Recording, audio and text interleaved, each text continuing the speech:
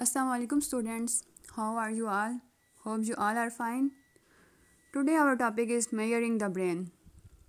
Last lecture में हम लोगों ने बात की थी ब्रेन के फ़ंक्शंस की एंड ब्रेन के पार्ट्स की आज हम लोग बात करेंगे ब्रेन के मेजरिंग की to be able to look in to the brain as it is working was a long time dream of philosophers and scientist in the last few decades this has become possible at least three distinct techniques are now commonly used to measure brain activity in psychological research. अब हमारे पास जो है brain को mayor करने के लिए three techniques यहाँ पर बताई गई हैं। जिसमें फ़र्स्ट में है आप लोगों के पास इलेक्ट्रो इंसफेलोग्राफी जिसको हम लोग शॉर्ट फॉर्म में कहते हैं ईईजी e ये कौन सी टेक्निक है कि it is a method for measuring brain activity in which the electrical activity of the brain is recorded from electrodes placed on a person scalp अब इलेक्ट्रो इंसफेलोग्राफ जो है, ये ऐसी टेक्निक है जिसके ज़रिए जो है, वो फ़र्द के ब्रेन में होने वाली इलेक्ट्रिकल एक्टिविटी जो होती है, उसको स्टडी किया जाता है। अब it is basically the study of brain's electrical activity इस टेक्निक से ब्रेन में आने वाली एबनॉर्मेलिटी जो है, उसको चेक किया जा सकता है। इसमें जो है, बग़ैर कट लगाए हम लोग ब्रेन को जो है स्टडी कर सकते हैं। अब इलेक्ट्रो इंसफेलोग्राफी के लिए जो मशीन यूज़ होती है, उसको हम लोग कहते हैं इलेक्ट्रो इंसफेलोग्राम मशीन जो आपके सामने जो है वो शो हो रही है। उसके बाद जो है, हमारे पास जो डाटा रिकॉर्ड होता है इस मशीन के थ्रू उसको हम लोग प्रिंट कर सकते हैं। अब इलेक्ट्रिकल सिग्नल से जो है, वो डाटा हमारे पास वेव फॉर्म में हमें स्क्रीन पर नज़र आता है। इसको जो है पेपर पर प्रिंट भी किया जा सकता है, जो आपके सामने शो हो रहा है। अब वेव प्रिंट को इलेक्ट्रो इंसफेलोग्राफ कहते हैं। मेटल से बनी हुई स्मार्ट डिस्क होती हैं। इनके ऊपर जो है कोटिंग होती है न्यूक्लोराइड की। इलेक्ट्रोड्स को पेशेंट के स्कैल्प के साथ लगाया जाता है। हर इलेक्ट्रोड के ऊपर एक अल्फ़ाबेट या लेटर या कोई नंबर लिखा होता है। अब लेटर जो हैं वो रिप्रेजेंट करते हैं कि कौन सी स्पेशल जगह या हिस्से पर उसको लगाना है। यानी ब्रेन के किस हिस्से को ये वाला इलेक्ट्रोड जो है वो क्या चीज़ जो है वो रिकॉर्ड करेगा। और इसके साथ जो नंबर्स लिखे होते हैं, वो बताते हैं किस साइड पर जो है वो लगाना है इसको। अब एग्ज़ाम्पल जो है आपके पास, मिसाल के तौर पर अगर आपके पास एक इलेक्ट्रोड है एफ़ लेवल का, अगर हम उसकी बात करें तो एफ़ जो है वो रिप्रेजेंट करेगा फ्रंटल लॉब को। अब फ्रंटल लॉब जो है, ये आपके ब्रेन का वो हिस्सा है जो आपके ख्याल जो आपके रीजनिंग या फिर जो आपके बिहेवियर है, उससे रिलेटेड होता है। अगर एफ़ के साथ नंबर जो है वो इवन हो तो वो राइट साइड पर लगाया जाएगा और अगर जो है वो ओड नंबर होगा तो इलेक्ट्रोड को लेफ़्ट साइड पर लगाएँगे। अब कॉर्टेक्स जो अपर लेयर होती है हमारे ब्रेन में, उसके अंदर होने वाली एक्टिविटी जो है उसको ये रिकॉर्ड करते हैं। जो इलेक्ट्रोड जो हैं, वो हम लोग ब्रेन के ऊपर लगाते हैं। उसके अलावा जो ईईजी e है, वो क्या चीज़ डायग्नोस करती है? वो डायग्नोस करती है एपिलेप्सी को। एपिलेप्सी जो है वो इस तरह की डिसीज़ है, जो due to toxic side effects से होती है, जो किसी मेडिसन या इंजेक्शन के साइड इफ़ेक्ट की वजह से आपको जो है कोई डिसीज़ होती है, उसको एपिलेप्सी बोलते हैं। It is the loss of consciousness, इसकी वजह से जो है वो आपका शोर जो है वो लॉस हो जाता है। उसके अलावा ये जो है डायग्नोस करती है, वो आपकी डिमेंशिया है।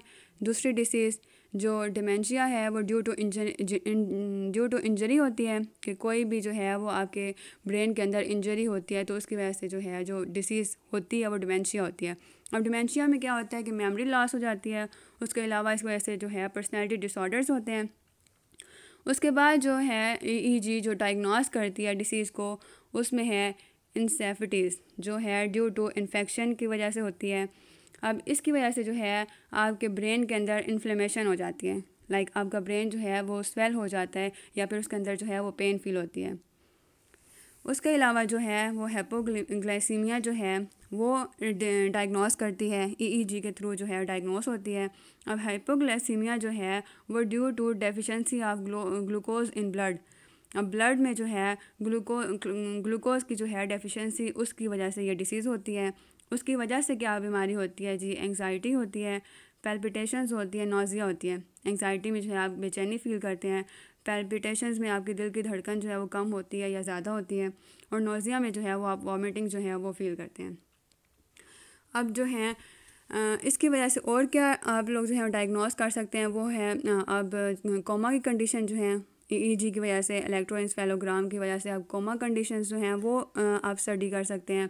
उसके अलावा आपकी ब्रेन डेथ जो है उसकी कन्फर्मेशन होती है ईईजी के थ्रू जब ह्यूमन डेथ होती है तो ब्रेन की डेथ जो है उसकी कन्फर्मेशन की जाती है ईईजी की मदद से। उसके अलावा जो आपकी दूसरी टेक्निक है, वो है event related potential ERP it is a special technique that extracts electrical activity from now EEG data to measure cognitive processes. अब आपकी जो ई आर पी टेक्निक है, उसके अंदर वो जो है, वो हमारे कॉग्निटिव प्रोसेसेस जो हैं, उनको मेजर करती है। Like if you want to see a brain reaction से to a particular stimulus such as a flashing light और अ लाइन इसके थ्रू जो है वो आप अपने कॉग्निटिव प्रोसेस जो होते हैं, उनके बारे में स्टडी करते हैं। उसके बाद है आपकी magnetic resonance imaging M R I अब एम आर आई जो है वो आपकी एक ऐसी टेक्निक है जिसके थ्रू जो है आप अपने ब्रेन को जो है वो स्टडी करते हैं या मेयर करते हैं। ये भी एक जो है मेडिकल टेक्नोलॉजी है। इससे क्या फ़ायदे हैं, क्या नुकसान है और हमें किस तरह से जो है ये हेल्प करती है। अब एम आर आई जो है वो मुखफ़ है magnetic resonance imaging brain imaging technique that uses magnetic fields to produce detailed image of the structure of the brain and other soft tissues.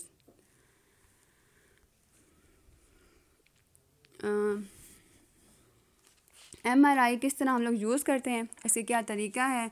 और इससे क्या फ़ायदे और क्या चीज़ जो है हम इसको डायग्नोस करते हैं वो देखते हैं हम लोग। तो 1980 के स्टार्ट में जो था वो M R I of human जो थी, वो इंट्रोड्यूस कराई थी।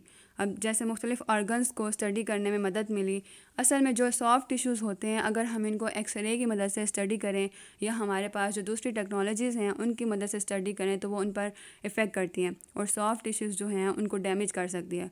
अगर हम इसको एम आर आई की मदद से स्टडी करें तो सॉफ्ट टिश्यूज़ हर, पर कोई भी साइड इफ़ेक्ट नहीं पड़ता। एमआरआई की मदद से हम सॉफ्ट टिश्यूज़ की नॉर्मल स्टेट भी देख सकते हैं और इसके साथ साथ जो है हम उसकी डिसीज़ स्टेट भी देख सकते हैं, कि इसमें कोई बीमारी है या नहीं है। यानी अगर कोई प्रॉब्लम या कोई बीमारी पैदा हो रही हो तो वो भी देख सकते हैं।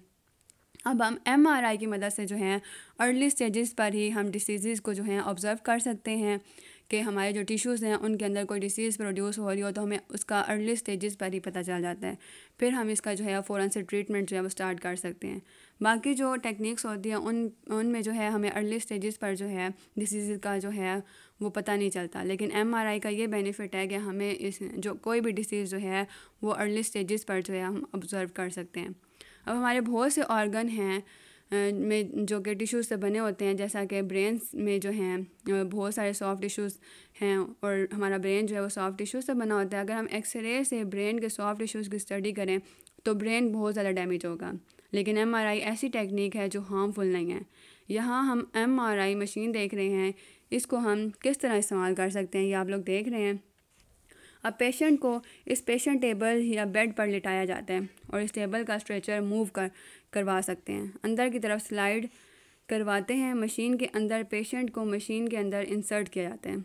अब जिस तरह से आप लोग ये देख रहे हैं कि पेशेंट को जो है मशीन के अंदर इंसर्ट किया जाता है और मैग्नेट और उसके अंदर जो है वो एक मैग्नेट लगा होता है। इसके साथ साथ जो है वो रेडियो फ्रीक्वेंसी क्वाइल्स होती हैं, जो सारा प्रोसेस जो हैं वो करती हैं स्कैन करती हैं पेशेंट्स के ऑर्गन्स एंड बॉडी को।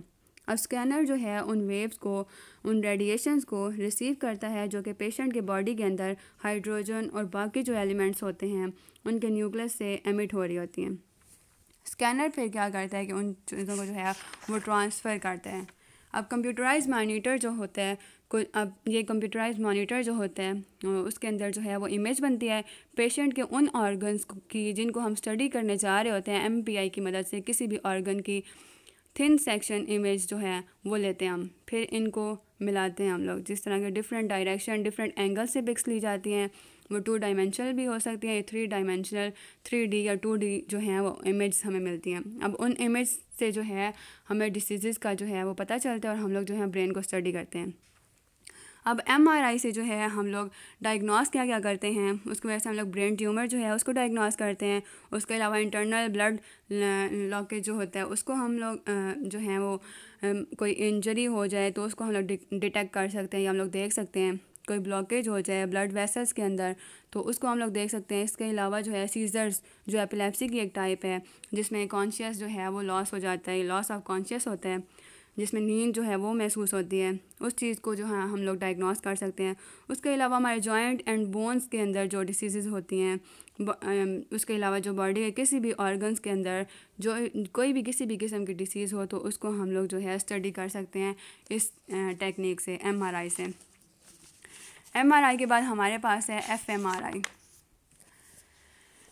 एफएमआरआई जो है वो अब्रिवेशन है functional magnetic resonance image A functional magnetic resonance imaging brain imaging imaging technique that uses magnetic fields to produce detailed image of activity in areas of the brain and other soft tissues. अब इसमें जो है हमारे पास detail image आती है किसी भी brain की एक्ट हमारे ब्रेन की जो है वो किसी भी पार्ट की एक्टिविटी की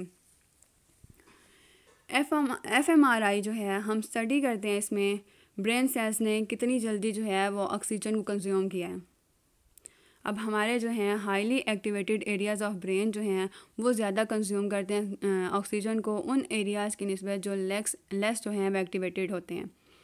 अब इसमें वो फ़र्द जो एफ़ एम आर आई करवा रहा होगा, उसको कॉग्नेटिव या बिहेवियरल टास्क जो है, वो दिया जाएगा, जिसकी वजह से हम पता लगाएँगे कि उसके पर्टिकुलर टाइम में ब्रेन का कौन सा एरिया जो था, वो ज़्यादा एक्टिवेट था।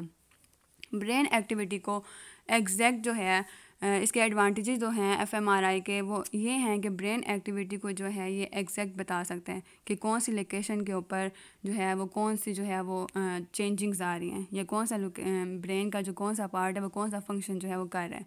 अब ये लोकेशन को पिन पॉइंट बता सकते हैं, वो भी एक दम फ्यू मिलीमीटर्स के डिस्टेंस में। दूसरा जो है उसका डिसएडवांटेज क्या है कि ये ई ई जी की नस्बत जो है, वो स्लो टेक्निक है। अब आपके सामने जो है वो एफ़ एम आर आई की जो है वो पिक्चर है सामने। आपके सामने जो है एग्जांपल शो हो रही है कि before M F M R I क्या किस तरह से हमारे पास आएगी पिक्चर और after M F M R I के बाद जो हमारे पास है वो पिक्चर किस तरह से आएगी। ये आपके सामने नॉर्मल ब्रेन है और वो ब्रेन वो जिसके अंदर जो है वो पार्किंसंस डिसीज़ होगी। तो उसकी जो है हमारे पास वो जो इमेज बनेगी एफ़ एम आर आई में वो इस तरह से होगी। उसके बाद जो है हमारे पास लास्ट वन टेक्निक जो है वो पी ई टी की है। Positron emission tomography brain imaging technique that measures blood flow to active areas in the brain इसमें हम लोग जो है वो देखते हैं कि ब्लड जो है वो किस तरह से जो है वो फ्लो कर रहे हैं। अब जब भी पीईटी टेक्निक को इस्तेमाल किया जाता है, एक स्मॉल रेडियो एक्टिव मटेरियल को इंट्रोड्यूस किया जाता है, जिसको कहा जाता है ट्रिगर जिसको इंजेक्ट किया जाता है हमारे ब्लड स्ट्रीम में। इसके बाद जो डॉक्टर है, वो इस ट्रेजर की सर्कुलेशन को, जो कि हो रहा है हमारे ब्रेन में, उसको मॉनिटर करेगा। जिसमें ट्रेजर को मॉडिफाई किया जाएगा स्पेसिफिक मॉलिक्यूल से बाइंड होने के लिए, जिससे होता क्या है कि रिसर्चर जो है, वो स्कैन पीईटी से हमारे ब्रेन की केमिस्ट्री जो कॉम्प्लेक्स केमिस्ट्री होती है, उसको अंडरस्टैंड करने की कोशिश करते हैं। जिसमें ये टेक्निक काफ़ी केसेस में जो है, हमारी हेल्प करती है।